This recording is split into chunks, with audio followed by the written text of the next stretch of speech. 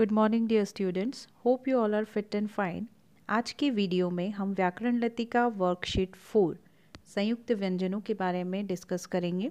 संयुक्त व्यंजन क्या होते हैं और कैसे बनते हैं।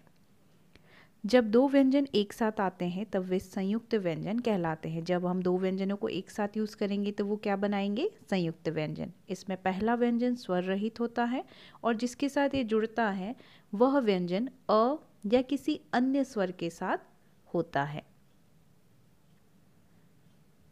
व्यंजन आपस में अलग अलग तरह से जुड़ते हैं। हम अलग अलग तरह से व्यंजनों को जोड़ सकते हैं। जैसे कि जिन व्यंजनों के अंत में पाई होती है, जिनसे वो पूरा शब्द बनाते हैं, उन्हें दूसरे व्यंजनों से जोड़ते समय उनकी पाई हटा देते हैं। कैसे? ध, धन, व। यहाँ पे ध की जब पाई हटाई तो बना ध्व, जिससे बनता है ध्वज।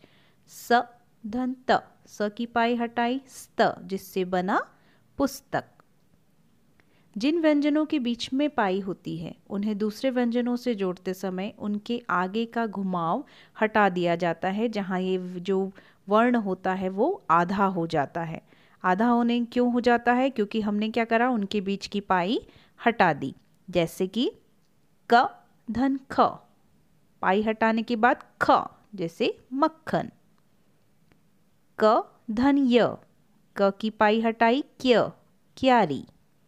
जिन व्यंजनों में कोई पाई नहीं होती, उन्हें दूसरे व्यंजनों से जोड़ते समय उनके नीचे हम हलंत लगा देते हैं, क्योंकि इनमें पाई नहीं होती है तो हम वहाँ पर लगाते हैं हलंत। देखते हैं। ड, धन, ढ। ढ, गड्ढा। र र शब्द अपने से पहले या बाद वाले व्यंजन के साथ अलग अलग रूप से जुड़ता है। मतलब कि यहाँ हम र का अलग अलग तरह से प्रयोग कर सकते हैं, हलंत लगा सकते हैं, पूरा र लिख सकते हैं, र में स्वर मिला के बना सकते हैं शब्द। तो देखते हैं, र, धन, अ। यहाँ पूरा र हमने यूज़ किया जिससे कि शब्द बना रात।